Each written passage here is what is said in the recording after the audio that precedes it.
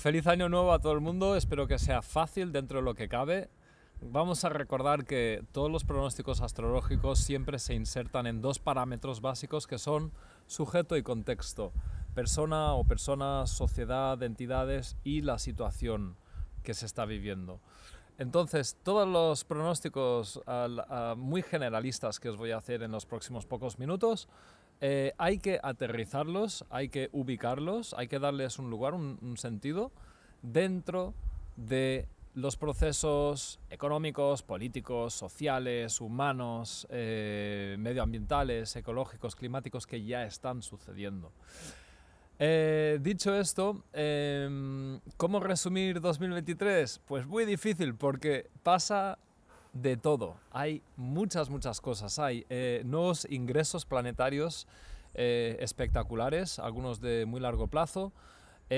sucede, como suele suceder a veces, muchas cosas en muy poco tiempo.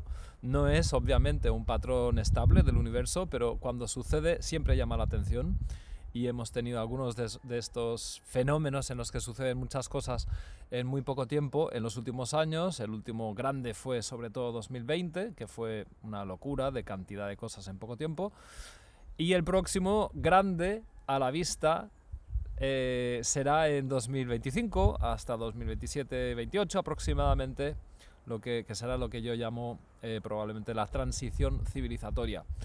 Eh, pero este 2023 también destaca mucho en cuanto a eh, novedades de ingresos planetarios.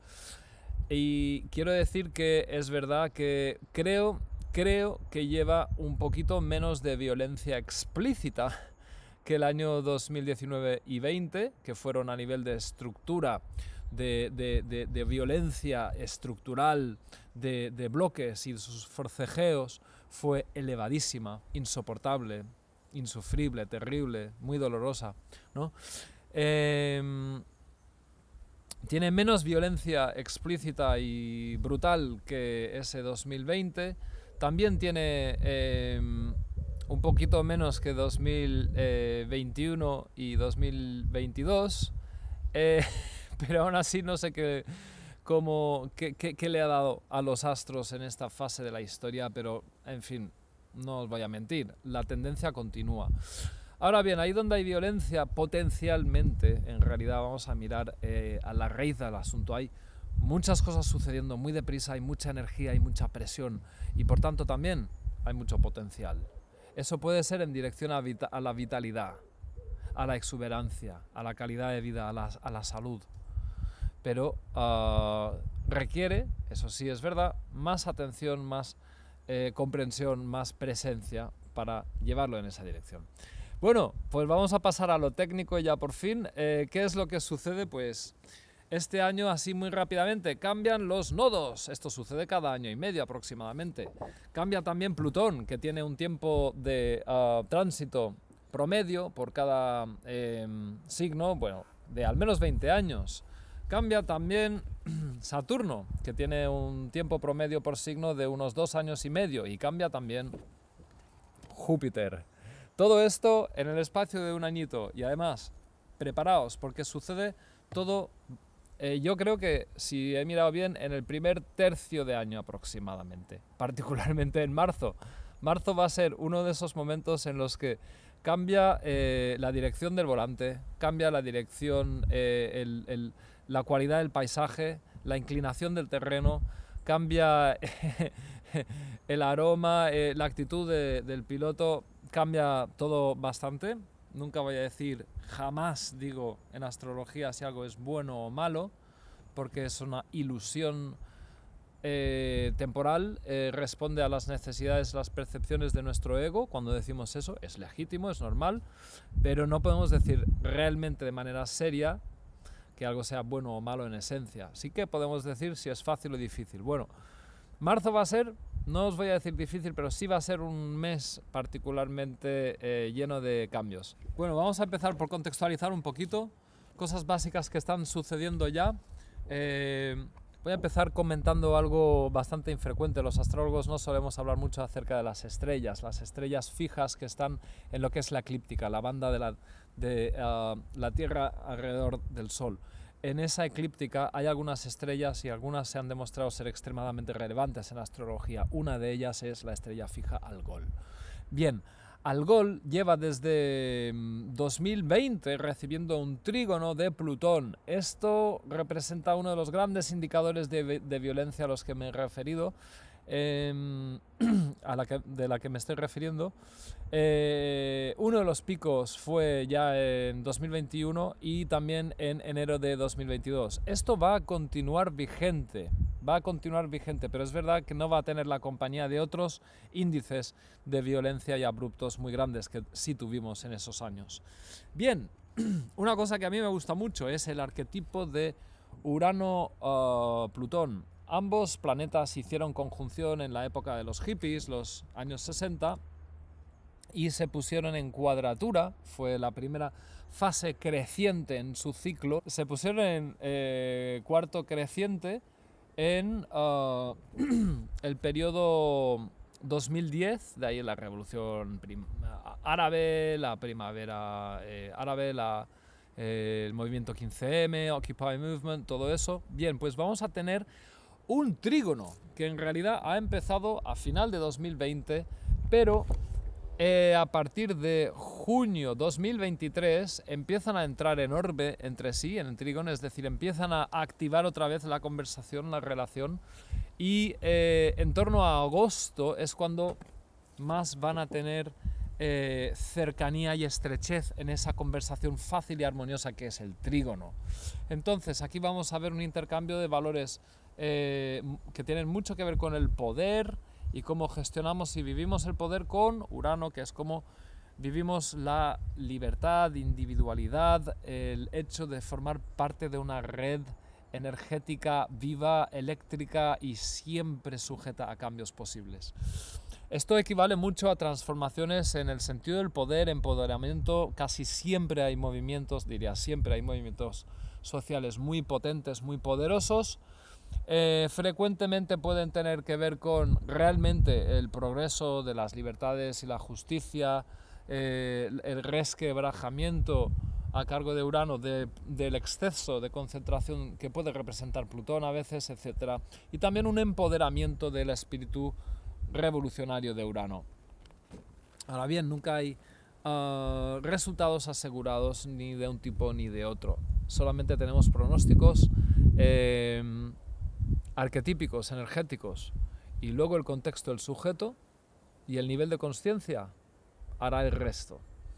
Bien, ¿qué más tenemos aparte de esta gran activación de uh, Júpiter en trígono con Urano que va a permeabilizar parte del año? Bueno, eh, vamos a entrar directamente en uno de los aspectos astrológicos más difíciles, sin lugar a dudas, del año 2023 que va a ocupar buena parte del, del mes y del año, porque va a empezar en febrero. En febrero, los nodos, el eje, pongámoslo así, del origen profundo y el destino autoconsciente, el origen, si se quiere, el origen kármico y el sentido evolutivo de la sociedad, de la humanidad, ese gran eje en el, que siempre nos movemos, va a estar en tensión con el planeta Plutón. También otra vez, me repito, de la transformación, el poder, la gestión del poder. Esto es una activación que ha estado vigente en momentos muy duros de la historia. Primera y Segunda Guerra Mundial, eran momentos de tensión entre tanto Saturno como Plutón con los nodos. Em, no tiene por qué suceder lo mismo porque con suerte hemos aprendido y evolucionado desde entonces. Con suerte. En fin, no lo sé. Ojalá. Entonces, bien, eh, los nodos eh, van en tensión con Plutón van a representar una fase muy difícil de eh, toma de decisión acerca de hacia dónde vamos. Nodo Sur, profundamente y a tope, con una lealtad subconsciente con el pasado que me hace pensar que yo tengo que volver atrás sí o sí, que tengo que ir al, al, pasado conocido. Por cierto, los nodos también van a cambiar de signos. El nodo sur va a dejar de estar en Escorpio para estar en Libra. Y el nodo norte va a dejar de estar en uh, Tauro para estar en Aries. Todo esto este año, amigos y amigas. Cuántas cosas, ¿no? Pues eh, lo que vamos a ir viendo es un, un proceso de negociación sumamente subconsciente muchas veces en el que no sabemos si ir con el caso de Plutón de manera total y absoluta hacia el pasado, hacia el origen, o de manera muy total y valiente hacia el uh, nodo norte, um, que es este. Es decir, de manera evolutiva. A mí lo que me parece difícil, lo que no me apetece nada, personalmente, es que es una cuadratura y no es nada fácil. Ninguna cuadratura, particularmente entre cuestiones que suelen ser así de subconscientes, por no decir inconscientes. Esto nos expone a tener que encontrarnos con el reflejo y con la sombra, con las consecuencias de nuestros actos inconscientes, sociales y colectivos, que van a poder ser muchos en esta temporada. Vamos a tener que respirar y prestar mucha atención a lo que está sucediendo gracias a todo esto. Y esta es una de las activaciones más largas del año 2023. Em, son 10 meses, empieza en febrero, llega a su pico en agosto y se termina de desactivar se extingue en torno a diciembre. Bien, vamos a ver más cosas en este momento. Eh, en marzo, el día 7, Saturno va a cambiar de... Joder, esto, ahora. Saturno va a cambiar de signo, va a estar, va a entrar en Piscis. Signo del amor incondicional, profundo, trascendental, sanador, esa superación de todas las diferencias y de todos los sufrimientos por nuestra terrible separación, por el dolor, el dolor de nuestra separación en los anteriores signos. Ahora bien, Piscis, aunque a un nivel eh, profundo busca eso, no, hay, no tiene garantías de conseguirlo necesariamente. Con Saturno en Piscis tenemos un sentido, Saturno, de realidad basado, Piscis, en lo trascendente, lo que permeabiliza y toca a todos y a todas, a todos los seres, aquello que de alguna manera incluye y trasciende. Es un llamado potencial muy grande para estructurar nuestro sentido de las prioridades en base, pistis, a lo trascendente. Ordenar las cuestiones de la sociedad, de la transición ecosocial, por ejemplo, o de nuestra vivencia del proceso de colapso de esta civilización tan frágil, inestable, interconectada, pero superficial y, producto, de, producto de tanta ambición y tanta fragilidad. Saturno en Piscis quizás nos pueda ayudar, quizás pueda ser un sentido de la realidad, algo agridulce, algo melancólico, en el que reconocemos que es importante organizarnos, Saturno, desde el punto de vista de lo más trascendente, inclusivo, espiritual incluso, si se quiere.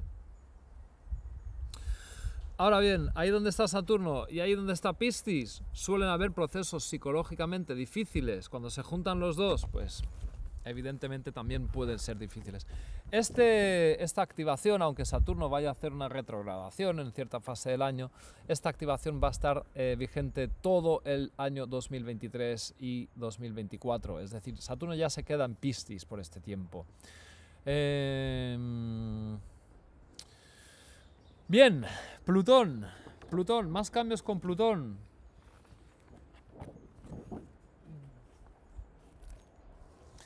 Plutón entra en Acuario, donde estará 20 años.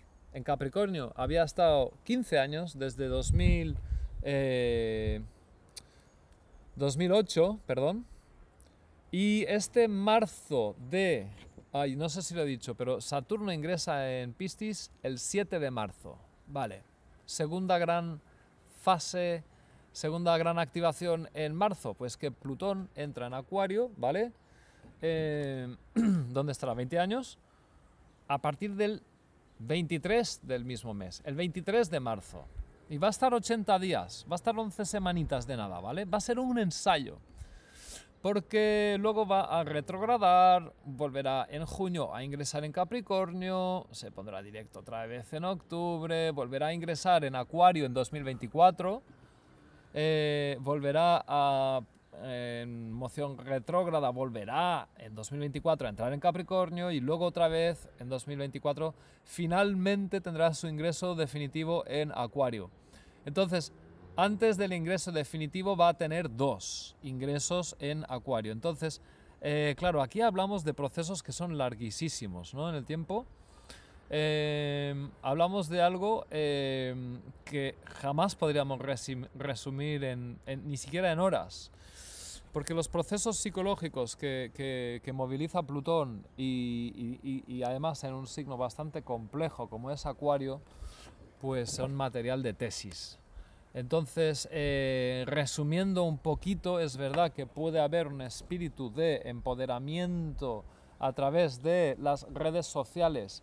Os recuerdo una cosa, antes de esta puta mierda de la digitalización tan eh, eh, exacerbada y exagerada, que no es ningún progreso. Antes de este, de este falso progreso de la digitalización para todo, em, las redes sociales eran redes humanas, sociales. No me refería a, a las redes em, de, de, de, interacción en Internet. Entonces, eh, puede representar un empoderamiento muy grande en lo que es el espíritu eh, gregario, social, de las relaciones que están abiertas, de, ese espíritu de traer el futuro al presente a través de las relaciones, a través de los intercambios y la organización colectiva abierta. Eso por lo positivo, por lo negativo, Plutón también representa la agenda y los intereses de las élites, particularmente cuanto más ocultas, ¿no? Entonces, eh, que esa agenda entre en el espíritu del progresivo eh, Acuario, eh, que en principio tiene que ver con liberaciones personales y colectivas, pues puede ser algo muy engañoso, que además en realidad nos va a recordar algo que ya llevamos un tiempo viviendo, porque Saturno, el planeta regente de Capricornio, ¿vale? Donde ha estado Plutón ya durante desde 15 años, Saturno en los últimos dos años ha estado en Acuario, los últimos dos años y medio, ya ha estado en Acuario, con lo cual ya hemos vivido un poco de esta, este sabor tan distópico de una agenda sumamente oculta a través de cuestiones muchas veces aparentemente progresivas. ¿Vale? Y yo con esto, ojo, no estoy buscando, odio las cazas de brujas, ¿vale? No estoy haciendo un dictamen de los buenos y los malos. Hay bastantes astrólogos que están en esa onda, yo lo rechazo totalmente. No sé qué entienden de astrología, si, si piensan que hay que ir a buscar a los malos o a los buenos en esas categorías binarias y fundamentalistas. En esto estamos implicados tú, y todos y todas. Es un poco más difícil. No es tan guay. No es, no es tan... No es tan de sígueme, yo soy tu, vuestro guru y es un poco más complejo. A buen entendedor, pocas palabras, ¿verdad? Venga, continuamos. ¿Qué más sucede en este año 2023? Bueno, ya llevamos unas cuantas cositas. Eh, Marte va a cambiar de signo por primera vez, y es algo a destacar, en cinco meses. Marte normalmente no está un promedio de cinco meses en un signo. Está mucho menos tiempo. Hace su ciclo completo en un poco más de dos años. Entonces, que haya estado cinco meses en el signo de Géminis, ahí eh, el signo tan mental, verbal y, un poco agotador a nivel cerebral, pues probablemente va a resultar un, un, cierto descanso. Eso sucede a partir del 25 de marzo cuando Marte entra en cáncer. Bien, Ah, luego, en cuanto a cambios de signo, voy a destacar, ya que estamos, eh, que Júpiter entra en Tauro el 16 de mayo, que por cierto es mi cumpleaños, si queréis felicitar y tal, pues genial. el 16 de mayo, eh, también recordado como por ser mi fecha de cumpleaños, Júpiter eh, entra en el signo de Tauro. entonces, el sentido de, de lo que nos hace ricos, abundantes, lo que tiene un sentido en la vida, va a pasar a tener mucho que ver con lo taurino, es decir, productividad, seguridad, alimento, eh, bienestar, eh, ese tipo de seguridad que realmente es tangible y comprobable, que sabemos que tenemos reservas suficientes a corto, medio y largo plazo, que las podemos tocar. Y esto, en este contexto de desmoronamiento climático, ecológico y del sistema alimentario en general, tiene muchísimo, tiene más que ver que nunca con el tema de la comida, de la alimentación. Entonces, por cierto, os recuerdo que tengo otro canal que se llama Ideas para el Gran Giro. Yo en ese canal saco mi lado un poco más em, social, activista, interesado en las democracias, en, cuestiones humanas y ecológicas. Y ah, nunca hablo de astrología, pues no hace falta, eh, faltaría más. Y allí eh, hablo un poco de, de lo que creo que necesitamos, que es ah, dar grandes pasos hacia la soberanía alimentaria en, en todos los países del mundo. Esto es un autosustento local, cercano, eh, y que sea la gente y no los lobbies, ni los supermercados, ni los intermediarios, ni mucho menos los fondos de inversión, que sean las personas quienes democráticamente y comunitariamente establecen sus propias agendas alimentarias, siempre evidentemente dentro de la ecología, que es lo más sano para el ambiente y para las personas. Entonces, pienso que potencialmente, a pesar de ser un año con abruptos y con sustos, potencialmente es un año muy positivo para lo agroalimentario. También decir que em, va a haber una cierta continuación del espíritu del ah, nodo norte que ya está en Tauro, que ya ha estado en Tauro este último año y medio, con lo cual va a haber una cierta continuación de eso. Em, y entonces eh, el tema agricultural va a seguir estando de moda, luego volveré sobre esto. Y eh, qué más decir, a partir de... Bueno, sí, vamos a mirar un poco los aspectos, es decir, los ángulos significativos entre planetas que suceden a lo largo de este 2023. Yo creo que lo más importante es esa cuadratura entre Plutón y los nodos. Porque, por suerte, por suerte, se extingue la cuadratura entre Saturno y Urano, no soy nadie para decir que sea buena o mala cuadratura, sí diré que probablemente estamos agotados y agotadas de esa, experiencia, con lo cual está bien que termine. Y, em, ¿qué más decir? Eh, no hay muchos aspectos realmente significativos este año.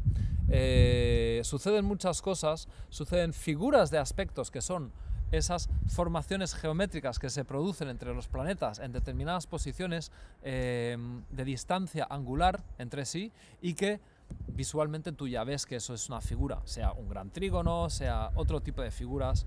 Eh, es un año que tiene muchas figuras de aspectos bonitas y llamativas, pero no tiene, salvo la cuadratura Plutón-Nodos, no tiene realmente grandes em, eh, aspectos eh, difíciles y de larga duración. Tiene otras cosas difíciles, pero no, no tiene tantas... Nada que ver, por, por ejemplo, con 2019-2020, nada que ver con la cuadratura Saturno-Urano de los últimos dos años. Y bien, entonces, ah, ¿qué más? ¿Cuáles son las activaciones eh, por aspecto más intensas del año, más significativas? Bueno, son varias y breves, aparte de la que ya he dicho. Yo creo que una bueno, la primera es la conjunción de Júpiter con el nodo norte, que va a ser em, entre mayo y junio.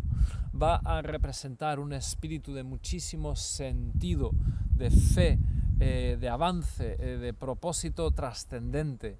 Eh, lo podremos utilizar de manera más desde la espiritualidad, desde la inspiración, desde un sentido de llamado colectivo. Júpiter en ese momento estará ya en Tauro porque va a entrar en Tauro a mediados de mayo, con lo cual va a ser mucha fe y, y un algo trascendente de llamada. Tauro hacia lo productivo y lo seguro, también el disfrute, la sensualidad, el erotismo, la sensualidad. Eh, pero se complejiza un tanto porque al mismo tiempo desde mm, ah, un poquitín más adelante ambos se ponen en cuadratura con Plutón. Y no es lo mismo que estén estos dos con esa inspiración expansiva tan impresionante que además estén en cuadratura con ah, Plutón, porque ahí ya entra un factor más eh, fanático, totalitario, absoluto em, y de ah, dogmatismo potencial. ¿no? El, fin justifica los medios? Bueno, para Júpiter en tensión con Plutón, sí. Y esto se suma a que, como os he dicho al principio, a lo largo del año ya hay potencialmente una cierta tensión algo fanática entre los nodos, nuestro sentido del origen profundo y nuestro sentido de la evolución hacia dónde vamos, y Plutón. Entonces es verdad que en torno a mayo, junio eh, vamos a vivir una fase aún más álgida de esto. Además, junio va a tener bastantes cuadraturas en general, es decir, un poquito más de tensión en general, ah, aunque también eh, va a tener em, una fase a nivel intelectual muy interesante. Serán pocos días, pero bueno, en fin, será bastante interesante esa fase. ¿Qué más hay a destacar? Em, me lo he saltado, perdón, pero va a haber una breve cuadratura eh, Júpiter-Plutón entre la luna llena de abril aproximadamente y el final de junio. Eh, ideales potencialmente muy transformativos, mágicos y chamánicos, una cierta fascinación por lo que podemos conseguir con la fe, la visión, eh, el sentido de la vida puede tener una sensación de de que hay algo tan profundo que moviliza, que cuando te pones en línea con, ese, con esa dirección, con ese espíritu, con esa inspiración, con esa visión, estás dotado de un, de un mayor poder para conseguir cosas, vale, eso es muy seductivo, está claro, pero cuidado con qué, con qué fuerza nos, nos lleve y en qué dirección se suma a lo, que, a lo último que estaba diciendo acerca de Júpiter conjunción nodo norte y en cuadratura con Plutón. Vamos a continuar. ¿Qué más hay? Hay también un sextil, algo fácil, por fin. Hay un sextil entre Júpiter y Saturno. Esto es una fase algo así bastante reformista, de consolidar, de evaluación de procesos. ¿En torno a qué? Pues en torno a la conjunción que tuvieron en el año 2020. Con lo cual, respecto del 2020, vamos a ver algo así como una especie de revisión de cómo vamos en cuanto a leyes, ah, cuestiones jurídicas. Eh, obviamente siempre está eh, eh, en nuestras manos y depende de las propias personas lo que hagamos. ¿no? Esto va a ir entre, como digo, entre mayo y julio. Aunque volverá a aparecer en diciembre, ya al final de año. Ya es como otra cosa, otra, otra fase. También decir que entre, bueno, tenemos la primera tanda de eclipses del año entre abril y mayo. Eh, ya llegaremos. Mayo, no lo he dicho antes, pero es un mes muy agricultural. Hay muchos planetas en Tauro, en Cáncer, los dos signos más hortícolas y ganaderos que hay. Y vamos a llegar ahora sí al cambio del eje de los nodos. Que el nodo norte va a pasar de Tauro a Aries. ¿Vale? Esto va a suceder eh, el 18 de julio y estará ahí eh, un año y medio, ya será en enero de 2025 que cambie. Y el nodo sur va a pasar a estar en el signo opuesto que es Libra. ¿Vale? Entonces, eh, yo tenía una frase resumen que no publiqué porque no hago muchos vídeos astrológicos hoy en día. Tenía una fase resumen para el año 2000, para eh, el, transcurso de los nodos, nodo norte y nodo sur, en Tauro y Escorpio respectivamente. Tenía una frase resumen que era de granjas y guerras va la cosa. ¿Vale? De granjas y guerras va la cosa, dije. Em, para esta fase que empieza, eh, vamos a ver cómo eh, los dos planetas regentes de Tauro y Escorpio son los mismos que los de eh, Libra y Aries, son Marte y Venus, pero la importancia, el peso de cada planeta va a dar un giro kármico evolutivo muy grande cuando cambian los nodos. ¿Y cuál sería la frase ahora para el siguiente año y medio que empezará a partir del 18 de julio? Si me atreví a decir que era de granjas y guerras va la cosa para el último año y medio, para el siguiente medio año, y medio que empieza, podríamos decir algo como de iniciativa y diplomacia va la cosa. Solo que en este caso, curiosamente, a mí que me gusta mucho la diplomacia, curiosamente con el nodo sur en Libra va a tener que ser de, nuestros, de nuestras memorias kármicas, de nuestros apegos eh, profundos de tipo diplomático que nos liberemos. Ojo, a mí me gusta mucho Libra por aquello de la justicia, la búsqueda de la justicia, el, un cierta, cierta parte del espíritu democrático, pero en este caso se, trata, se va a tratar de, y de, contactar con eso y de liberarnos, no de la democracia, que ya tenemos demasiado poca, creo, pero liberarnos del espíritu de conciliación y equilibrios y de, que muchas veces son formales y superficiales y paralizan en un cierto miedo a la confrontación, para pasar a un espíritu de iniciativa, de lucha, de agresividad, que no tiene por qué ser, y espero que no sea violencia. No tiene por qué ser. Espero que no sea violencia. Nodo norte, en Aries, no es necesariamente una fase de guerra porque sí, pero sí es, sí es de iniciativa, de entusiasmo, de lucha, de agresividad, que no violencia, de impulso, de arrancar, de venga, va, ya. A ver, no hemos esperado suficiente para muchas cosas que son elementales. Un, por ejemplo, un reparto de la riqueza en el mundo, que ya seas de derechas o izquierdas, me da igual. Es grotesco, es absolutamente inútil, no tiene ningún sentido. No es uh, útil ni beneficioso, es absoluta y totalmente cancerígeno es ah, algo que invoca un colapso. Es decir, no es, no es sostenible de ninguna manera. Pues tiene que haber sí o sí, por ejemplo, una perforación, una lucha, un pinchar esos globos. Eh, mm, es, eh, eh, es, posible que yo ponga de mi parte subjetivamente aquí, sí, pero no encontraréis astrólogo, astróloga que sea plenamente objetivo, objetiva. Quien diga que lo es, es hipócrita y irresponsable. Yo reivindico que soy, que tengo mucho espíritu de, justicia y que no me gusta este, este reparto tan desigual, es verdad. Eh, bien, entonces, eh, ¿qué más sucede este 2023? Joder, cuántas cosas, ¿no? Bueno, pues como si, por si fuera poco, va a empezar eh, el gran sextil, que es la movilización energética más grande que hayamos tenido en muchísimo tiempo. Es verdad que el año 2020 fue, y junto con 2019, fue extraordinario en cuanto a nuevas activaciones.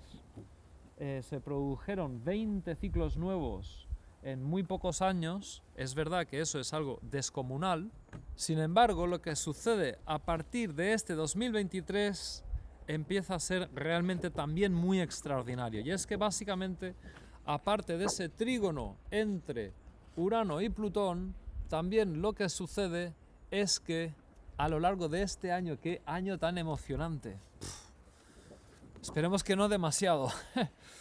Ambos empiezan a ponerse en sextil con Neptuno. Joder, éramos pocos y parió la abuela. Vale, pues venga, el sextil entre Neptuno y Plutón lleva décadas, si no me equivoco, casi un siglo incluso. Lleva, un, lleva en sextil muchísimo tiempo, más abierto, más cerrado, pero muchísimo tiempo. Y ahora se incorpora el sextil de ah, Urano a Neptuno, con lo cual tenemos un diálogo de trígono y de dos sextiles, es decir, un diálogo de intercambio pasivo pero suave, eh, armonioso pero fecundo, fértil, entre los tres planetas transpersonales, los tres planetas que tienen que ver con nuestras capas evolutivas superiores, aquellas que son tan difíciles de contactar, de permanecer, de incorporar a nuestra vida, pero que hacen que nuestras vidas tengan un sentido como una parte creativa, evolutiva del universo esos tres planetas, esas tres partes van a estar intercambiando entre sí. Urano con su espíritu de eh, progreso, de traer el futuro al, presente. Neptuno con su espíritu de eh, todos somos un gran océano, somos parte del cosmos, del éter, somos uno, más allá de las fronteras y las separaciones y las heridas y la violencia que nos infligimos, somos una sola alma que desea estar en paz. Y Plutón, la disposición a morir y transformar, morir y transformar, morir y transformar, a veces empoderarse, a veces corromperse, a veces empoderarse, a veces corromperse. Y esos tres hablando de esa manera tan eh, fecunda entre sí, traen nada menos que un cambio civilizatorio. Que luego, además, veremos como Plutón, aparte de, cambiar a Acuario eh, a lo largo de los siguientes, eh, del siguiente año y medio, dos años, Neptuno entrará de Piscis a Aries y Urano entrará de Tauro a Géminis y además de estar eh, dialogando entre sí estas tres fuerzas tan trascendentes y movilizadoras de cambios de paradigma, además estarán cambiando de signo en muy poco tiempo. Y además en 2025 también estará en Aries Saturno, con lo cual todo eso tendrá un cierto peso, una cierta estructura y organización. A partir de 2025 cuesta mucho entender qué va a suceder, pero va a ser netamente diferente, sin duda.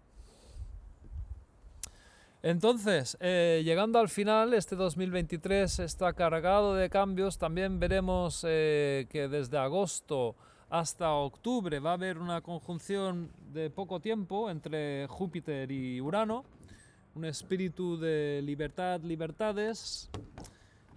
Nota, cuando decimos libertad, por favor, esto de la libertad como algo bueno, algo siempre positivo, por favor, es bueno cuando decidimos, cuando hablamos de qué libertad, cuándo, dónde, para quién y cómo.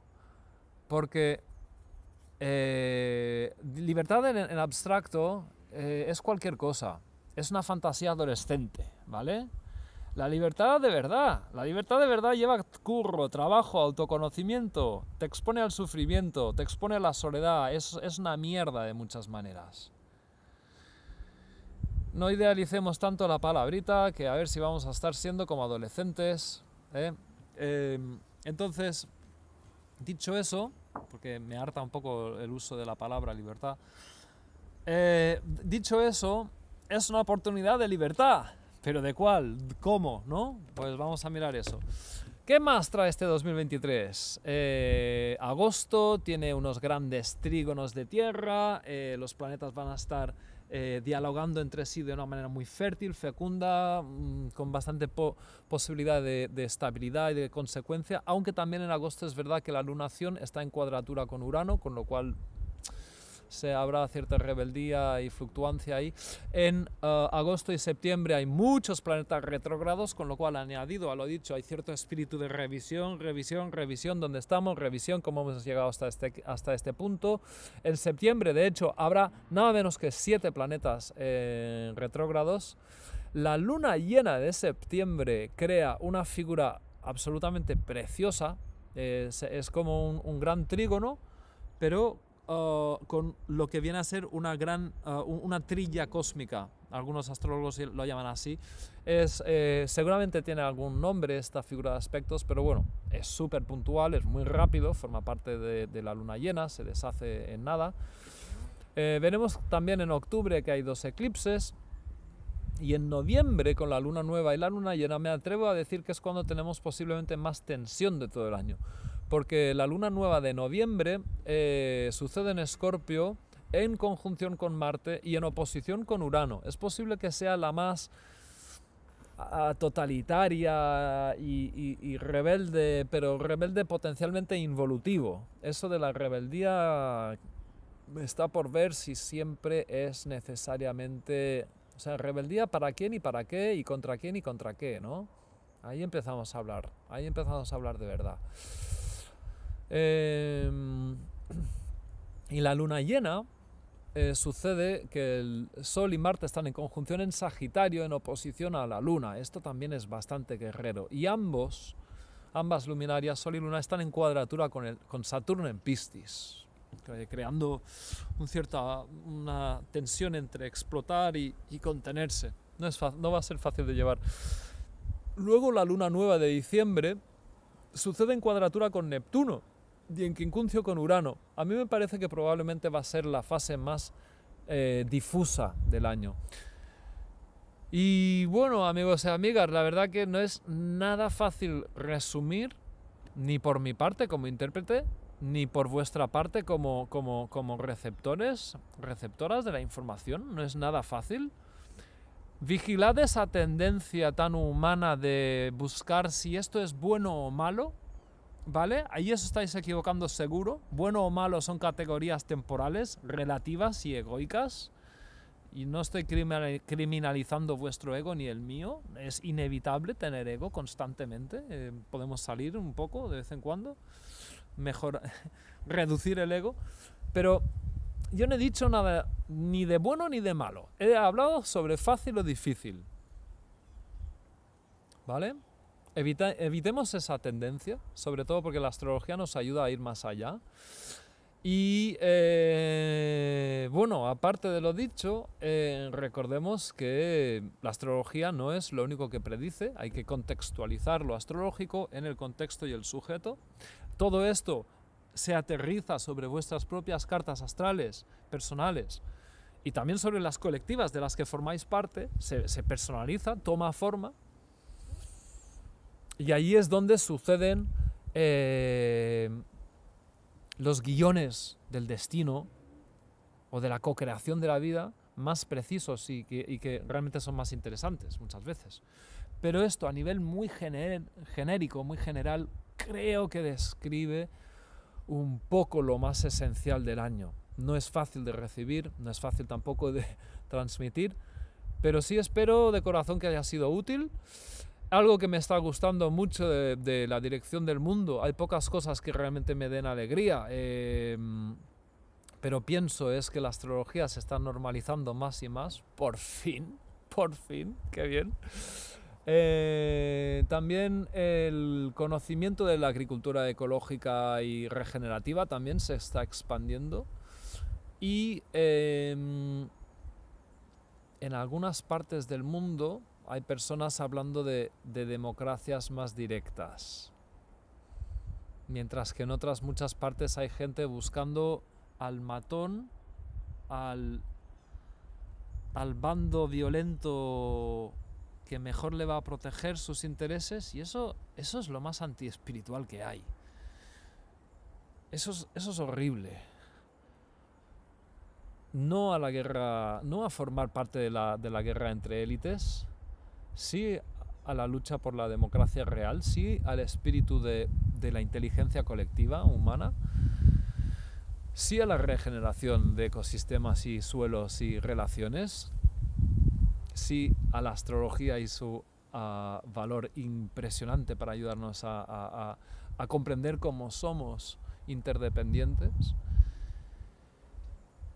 Y bueno, eh, hasta aquí de momento. Seguimos, os invito también a conocer mi otro canal en el que hablo de cosas que me parecen igual o más trascendentes incluso que la propia astrología hoy en día. Ideas para el gran giro. Allí también os espero y será un placer saludaros. Bueno, todo lo mejor para este año, eh, mucho coraje, mucho apoyo mutuo, llorad, no es para menos. O sea, si alguien no está llorando en esta, en esta fase de tanta, tanto duelo, tanta pérdida, a lo mejor está luchando demasiado. Llorad, apoyaros, abriros cauce para ese camino de la debilidad aparente que es el de la fuerza real, sin regeneración, sin tristeza, sin acompañamiento en eso no hay ninguna posibilidad de una lucha realmente digna y significativa por algo que valga la pena. Y bueno, seguimos en contacto, ¿vale? Que estéis muy bien. Un abrazo, salud.